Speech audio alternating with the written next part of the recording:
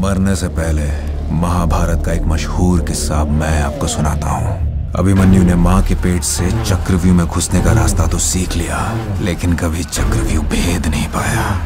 काफ़ी गर्मी है तुम लोग में, मैं भी थोड़ा गर्म हो लेता हूँ।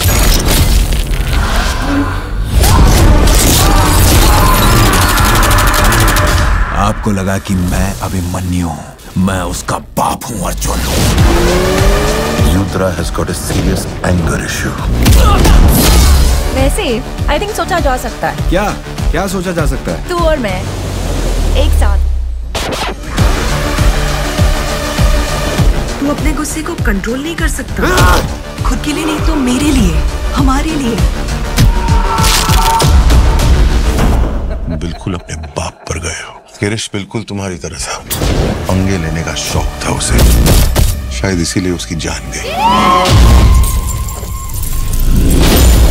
ये जज को बोलेंगे प्लीज़ कि मुझमें जेनेटिक प्रॉब्लम है।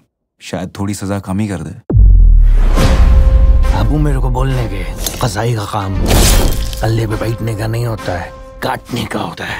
फिरोज देश का सबसे बड़ा ड्रग नेटवर्क चलाता है। जो काम तुम्हारे बाप ने शुरू किया खत्म तुम कर सकते हो। अभी अपना माल मेड इन चाइना हो गया। फिरोज उनसे पाँच हज़ार किलो कोकेन खरीद रहा है। माल शफीक नहीं हम उतरवाएँगे एक बार मौका दीजिए। मैं लेके आता हूँ ना उसे आपके पास।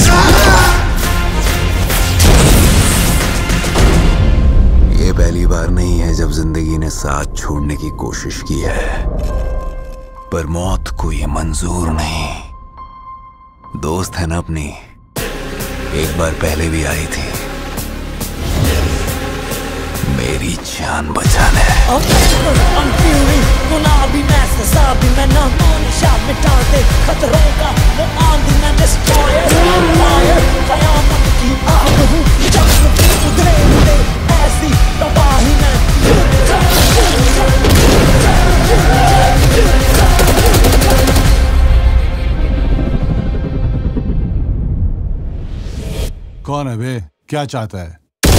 जानना चाहता हूँ लोग मरने से पहले ऐसे बेवकूफ़ी भरे सवाल क्यों पूछते हैं?